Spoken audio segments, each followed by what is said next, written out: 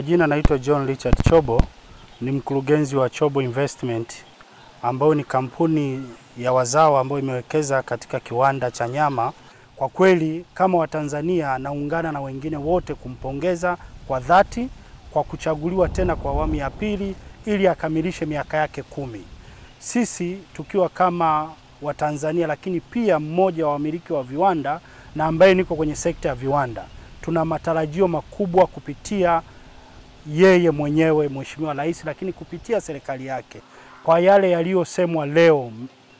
kwake yeye mwenyewe, sisi tunashikwa na imani kubwa kwamba ndani ya hii miaka mitano na pale alipoweza kutufikisha kwa miaka mitano iliyopita, tuna imani kutakuwa na mabadiliko makubwa yenye tija na atakayoleta mchango mkubwa sana ndani ya taifa yetu.